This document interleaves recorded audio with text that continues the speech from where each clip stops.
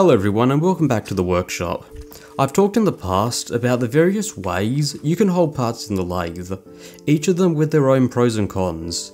As a quick recap, we have scroll chucks. They are the most common and practical chuck that I use. The big advantage to them is the jaws move in and out together, which means you can easily chuck in your part and start machining. The big downside though is the part will be machining with some runout or eccentricity, and with these chucks, there's no easy way to fix them. On this lathe, using this chuck, that's going to be about 40 or 50 microns of runout. If you need your part to be running true, then a 4 jaw independent chuck can solve this issue. You'll have to use a dial indicator to effectively dial out any runout or eccentricity, and if you do it right, the part will run absolutely on center, although this can take a little bit of time to properly set up.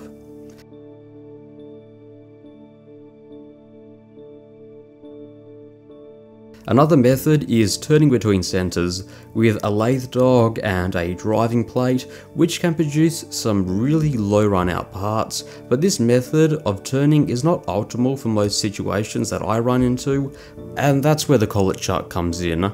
If everything is set up correctly, it should be a very low run out way of holding parts and it shouldn't take all that long to set up.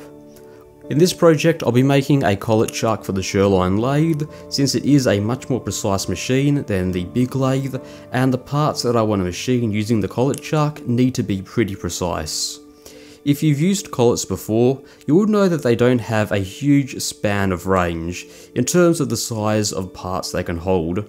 For instance, this 6mm collet can hold parts 5 to 6mm in diameter, Anything more or less will require the purchase of a new collet.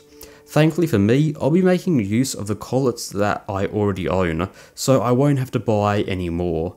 These ER11 collets, which are on the smaller side of collet sizes, are the same collets that I use in my mill spindle, and since I own quite a few to be able to use different end mills, I thought I might as well reuse them in the collet chuck.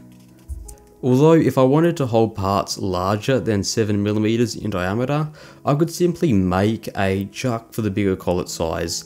So at the end of the day, this is just a piece of mild steel with a Morse taper shank that will fit into the Sherline lathe. The taper will be threaded to accept a drawbar, and the chuck will have an internal taper, about 8 degrees for the ER11 collet and on the outside will be an M16 by 0.75mm pitch thread for the nut. So let's get started. We need this part to be as precise as we can get it, so I'll dial it in using the 4-jaw chuck.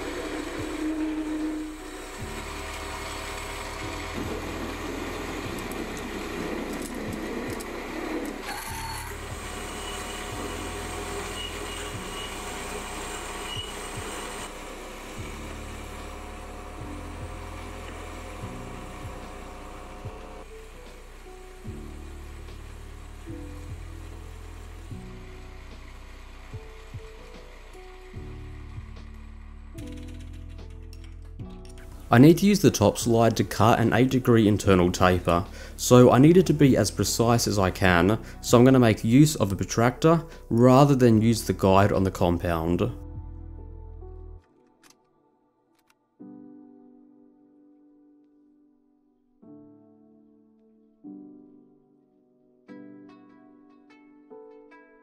I'm still not a huge fan of the gibs on the top slider. If they're too loose, there's going to be a lot of slop and the resulting taper will be very messy. To get rid of any of this slop, I have to over tighten the gib screws, which makes it very difficult to advance, although you do get a much better cut.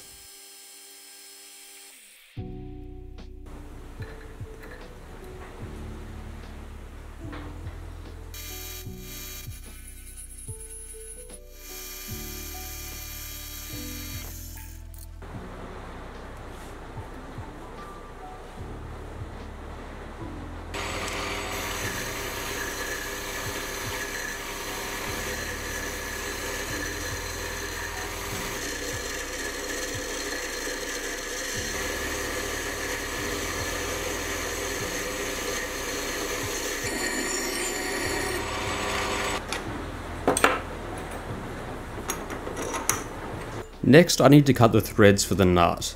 Since I can't set the lathe to run below 500 RPM when I would optimally be cutting the threads at below 100, I'm going to need to cut them manually. It works really well, although it does take a lot longer.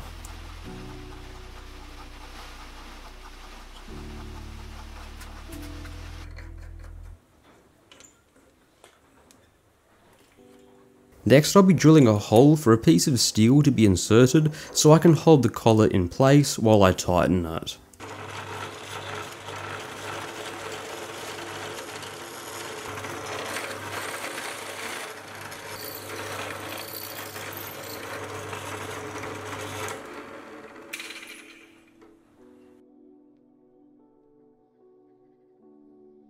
Next we can use a hacksaw to cut the part to its final length.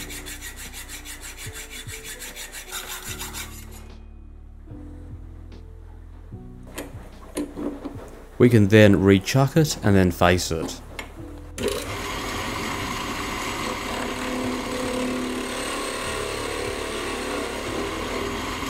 Next we need to drill and tap a quarter inch thread for the drawbar.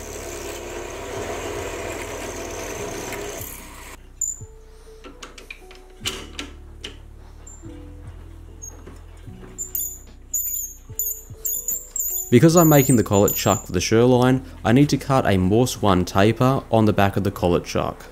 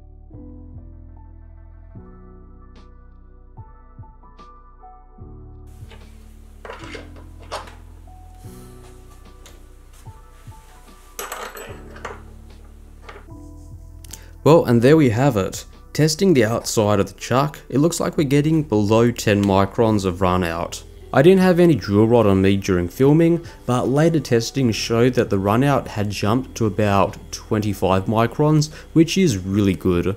I think I could improve it with a better quality collet, but 25 microns is pretty good for what I need. Either way, I think I'm pretty happy with this build. I hope you enjoyed it, I hope you learnt something new, and with that, thank you very much for watching.